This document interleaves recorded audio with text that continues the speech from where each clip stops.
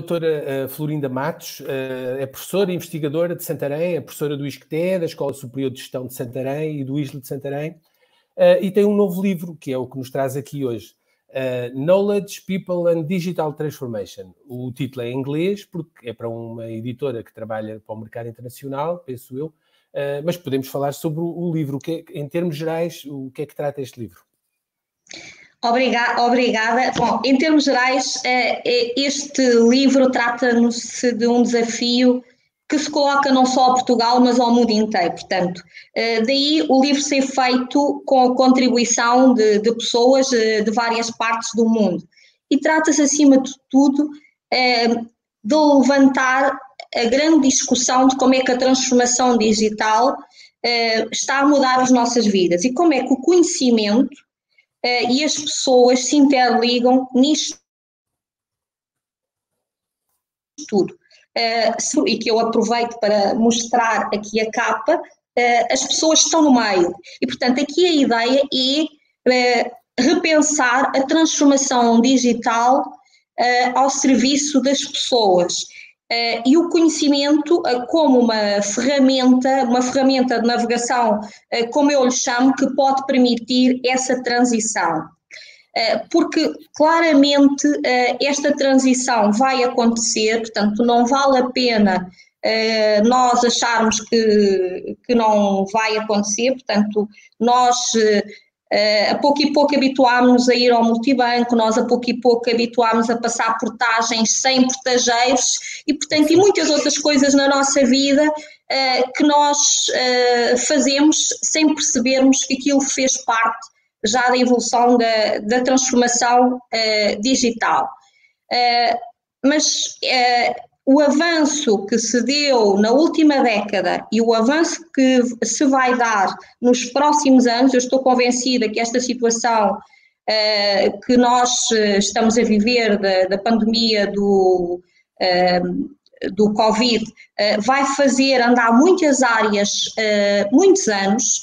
Há áreas que alguns especialistas falam que vão avançar mais de 10 anos e, portanto, neste contexto, nós temos que estar preparados. E para estarmos preparados, nós temos que pensar o que é que isto altera a nossa vida. E se nós não tivermos presentes que a transformação digital deve ser uh, feita tendo as pessoas no epicentro e tendo o bem no epicentro.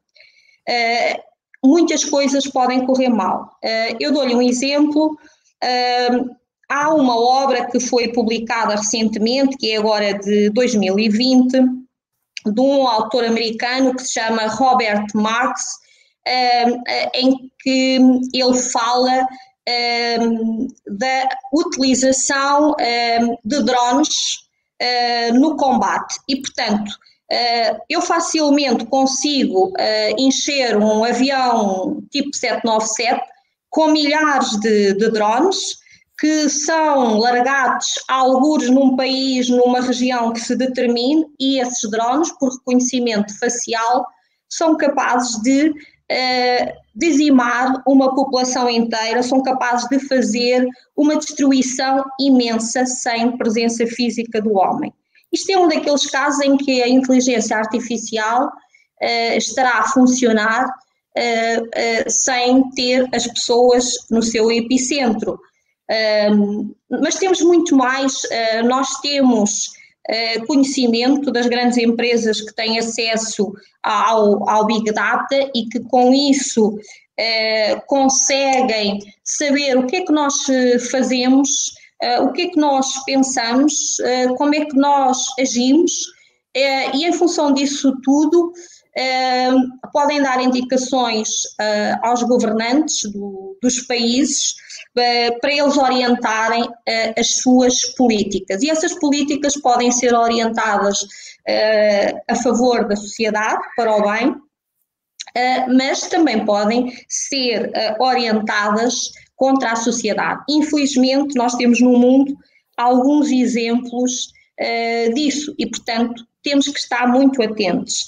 Existem também situações boas e que nós queremos a inteligência artificial ao serviço realmente do bem das pessoas, como vimos agora no Covid, a situação de nós podermos dar aulas à, à distância, a situação de nesta pandemia haver aplicações que permitem controlar uh, os contactos que as pessoas têm, portanto, diria que isso é uma perspectiva muito positiva da utilização uh, da inteligência artificial para o bem. E sempre, se pensarmos nestas situações, estão sempre as pessoas e, portanto, e como é que elas são afetadas.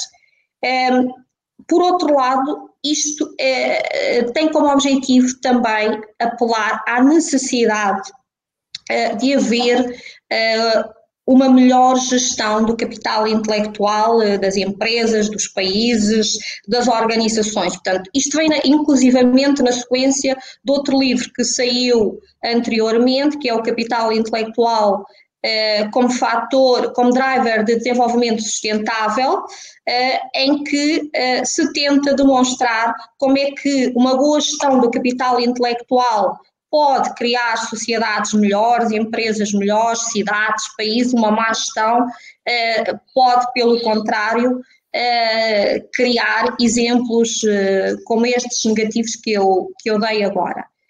Ehm, portanto, aqui a ideia é mesmo fazer-nos pensar nestas coisas e, e pensarmos: será que a transformação digital está centrada nas pessoas ou noutros interesses? E, portanto, é por aqui.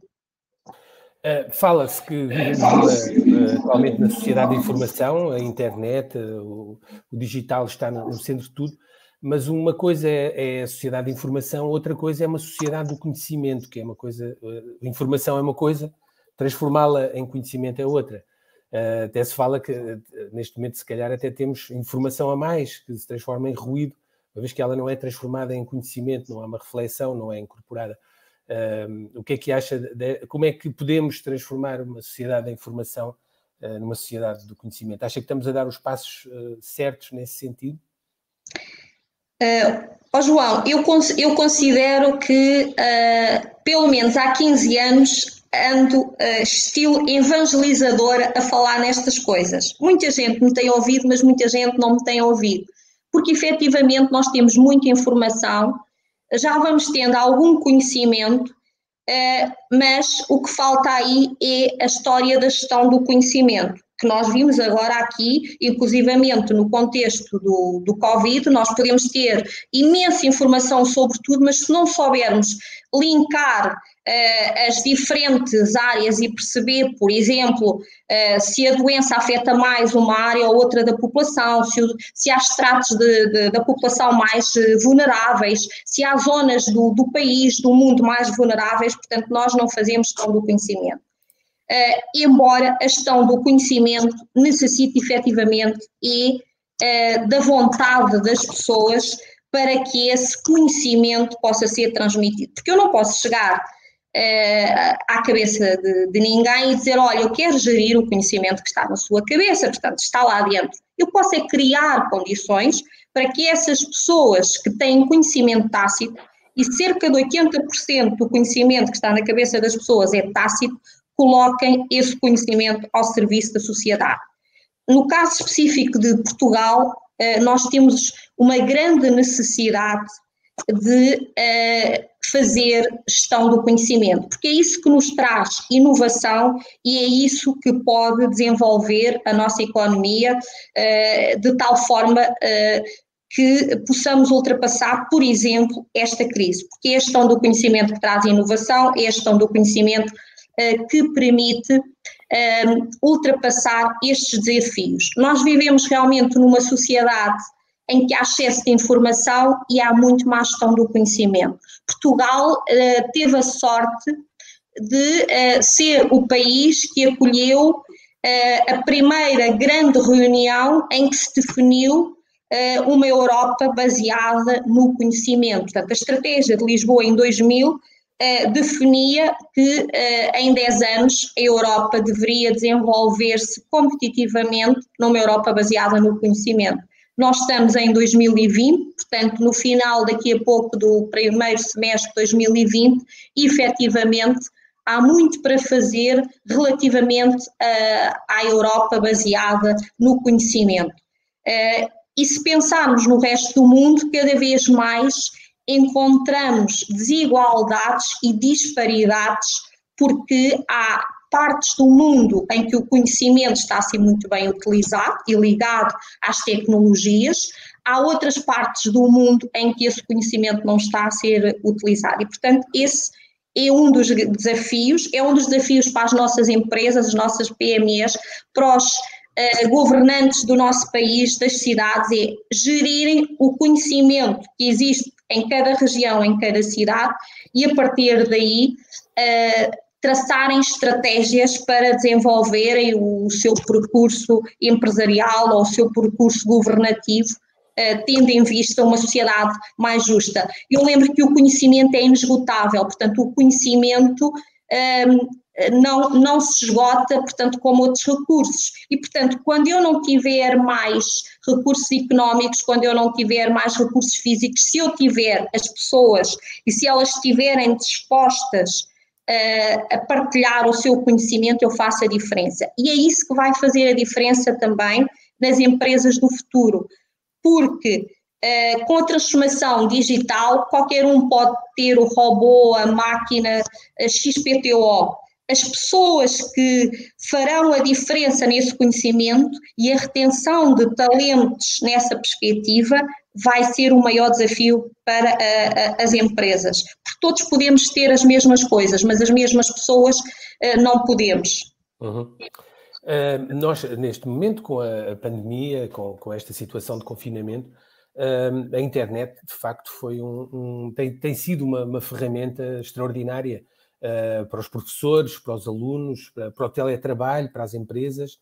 E, e, de facto, é, é, uma coisa é de facto ter esta, este instrumento, ter esta, esta vantagem, outra coisa é utilizá-la. Como é que acha que isto está a correr? Uh, acha que os nossos professores, os nossos alunos, as nossas empresas têm estado a aproveitar uh, este, este, para, para, dar este salto que, que, que, era necessário também em termos de utilização de, das, das, novas tecnologias da, da internet? Ó oh, João, a minha percepção é que há um, pelo menos dois grupos uh, distintos. Por um lado, uh, se pensarmos no ensino, uh, o, o, ensino superior e uma boa parte do ensino secundário tem estado a aproveitar muito bem estas novas tecnologias. O ensino uh, secundário, essencialmente utilizando o, a ferramenta Teams, o ensino superior, praticamente todo utilizando a ferramenta Zoom. E, portanto, uh, isto permitiu ultrapassar os tabus daqueles que diziam que ensinar à distância não era possível, que não se conseguia fazer avaliação à distância. Eu dou-lhe um exemplo, portanto, desde 11 de março que estou a ensinar para o ISCTE, para o, a Escola de Gestão de, do Instituto Politécnico de Santarém ou para o ISLA, sempre à distância. Portanto, tenho feito uh, trabalhos, testes, tudo. Uh, ainda esta semana tive uma prova de mestrado em que fui presidente do júri à distância. Uh, e, portanto, uh, a maior parte da nossa atividade, com mais ou menos dificuldade na parte do, do ensino superior e uma boa parte do secundário uh, tem uh, funcionado bem. Mas não nos podemos esquecer que, uh, mesmo no secundário, existem muitos jovens ou no superior que não têm acesso a computadores. E se formos para os outros níveis de ensino, encontramos muitas crianças que têm assistido às aulas pelo Teams, por exemplo, utilizando o, o telemóvel quando têm um telemóvel com essas condições porque essas crianças não têm computadores em casa.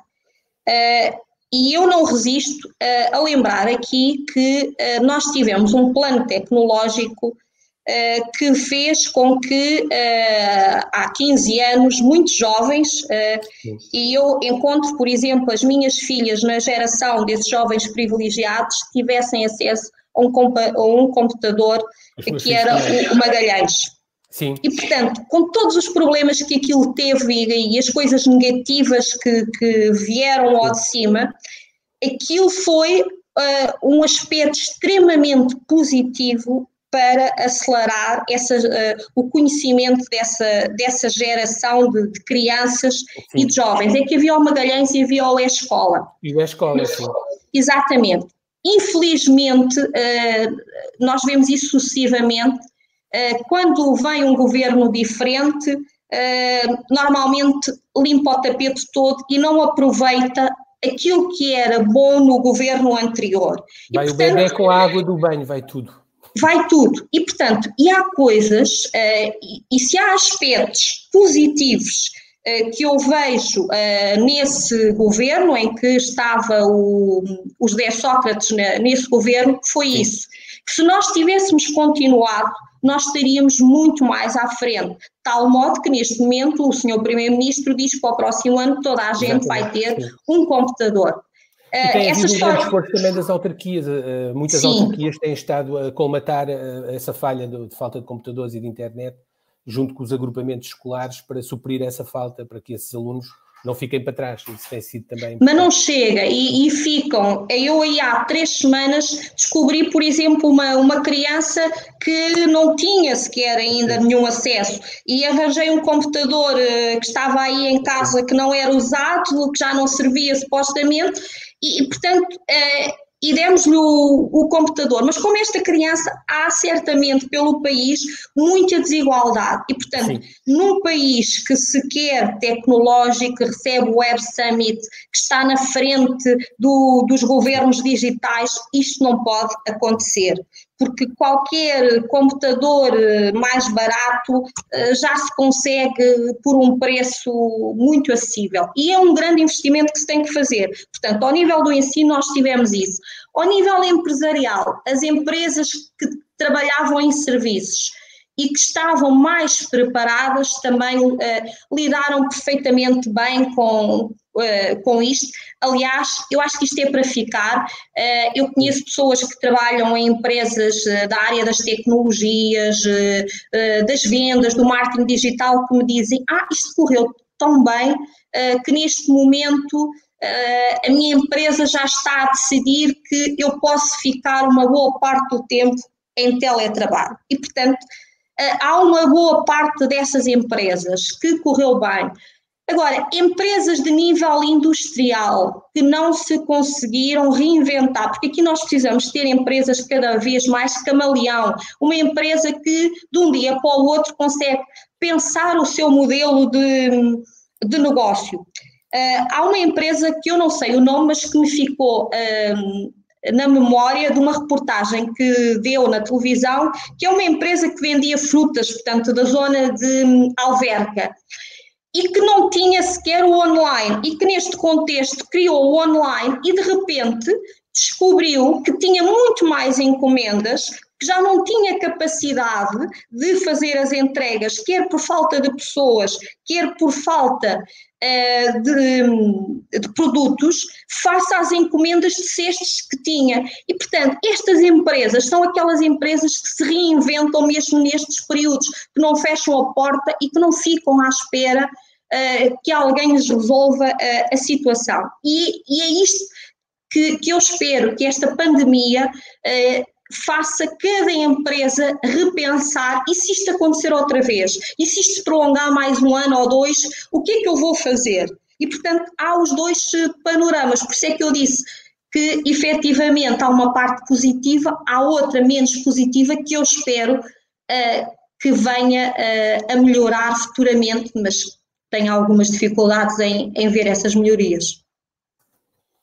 Que lições é que o teletrabalho deve ter vindo para ficar? O ensino à distância uh, também é uma, uma, uma, boa ferramenta. Essas são lições que tiramos de, desta experiência terrível da pandemia? Essas são, pelo menos essas são duas das lições. Uh, eu acho que o ensino à distância para Portugal, e nomeadamente para o ensino superior, coloca-nos grandes desafios. Eu, em novembro passado, eh, tinha estado numa universidade no Brasil, ehm, numa cidade que se chama Maringá, que tem uma universidade que tem cerca de 200 mil alunos, só aquela universidade. E cerca cerca de 170 mil é ensino à distância. E quando eu contei isto, até falei com algumas pessoas, até no, no as pessoas olham e dizem, ok, aquele ensino, como é que será? Será de qualidade? Não será? porque eles até têm uma situação que é as pessoas que nesse caso faziam uh, exames presencialmente em determinados sítios e tinham reconhecimento uh, com base na impressão digital para evitar aquelas situações em que outras pessoas pudessem fazer com eles. E, portanto, quando eu, eu vim dessa, dessa visita a essa universidade encantada porque eles têm estúdios, estilo estúdios de televisão, onde as pessoas gravam as aulas e onde faziam isso tudo. Portanto, o Brasil não tem a nossa dimensão, mas nós temos mercados fantásticos. Se nós pensarmos que para um brasileiro a oportunidade de tirar um curso superior em Portugal é fantástico, África, uh, a mesma coisa. Portanto, só em língua portuguesa nós temos desafios imensos para o ensino à distância que soubermos aproveitar, desde os politécnicos às universidades, nós temos imensas coisas que podemos fazer. Mas também, uh, se pensarmos que uma boa parte do ensino, e dou um exemplo, cerca de 23% dos alunos do ISCTE neste momento são estrangeiros, portanto, significa que há um mercado forte, estrangeiros de, de línguas que, que não a, a, a língua do, dos, dos PALOPs, há um mercado imenso que nós podemos explorar também dando curso à distância.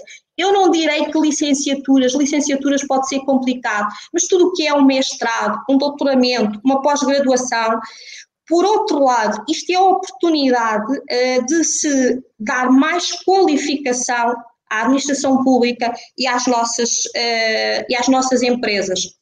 Uh, eu tenho estado a, a, dar umas aulas num, num curso uh, para quadros superiores da administração pública e é fantástico que nós tínhamos uma turma e abrimos uma segunda turma porque há pessoas de todo o país que de outro modo uhum. não se deslocariam para Lisboa para ir ter uh, uma tarde de aulas e portanto isto é realmente um grande desafio que quem conseguir aproveitar estes tempos complicados e não é daqui a um ano ou dois começar a pensar nisto, é já, tem uhum. oportunidades fantásticas. Um, para concluir, já tem, já tem na calha o outro livro. Uh, vai ser sobre, sobre que tema? Resiliência. Portanto, acima de tudo, nós para sobrevivermos a estes tempos temos que ser resilientes. Uh, e uh, a ligação entre, uh, outra vez, a resiliência e as pessoas no contexto organizacional, na minha ótica, é a chave para nós construirmos organizações melhores. E, e, acima de tudo, e eu há pouco não falei, para não nos deixarmos de focar eh, naquilo que são os Objetivos de Desenvolvimento Sustentáveis, sustentável das Nações Unidas. É que nós não podemos esquecer que tudo isto terá que estar sobre a cúpula daquilo que são os grandes desafios da sustentabilidade. E, portanto, nós não podemos achar que uh, a transformação digital por si só eh, vai resolver os assuntos se nós não olharmos para a transformação digital no contexto da, da sustentabilidade. E a sustentabilidade nas três dimensões: ambiental, social e uh, económica. Aliás, na próxima década, uh, eu penso que nos vamos focar cada vez mais na parte social, que é aquela que está muito esquecida, porque nós temos estado muito focados no ambiente embora haja muito para fazer, uh, mas tem-se falado muito no ambiente, mas muito pouco na parte social. E é o, terceiro pilar que, que, nos próximos 10, 10 anos uh, nós nos vamos focar, daí a resiliência. E resta-me agradecer-lhe a, a sua presença. Muito obrigado e bom trabalho. Obrigada, isto foi uma bela oportunidade e boa sorte também, e muito obrigada. Obrigado.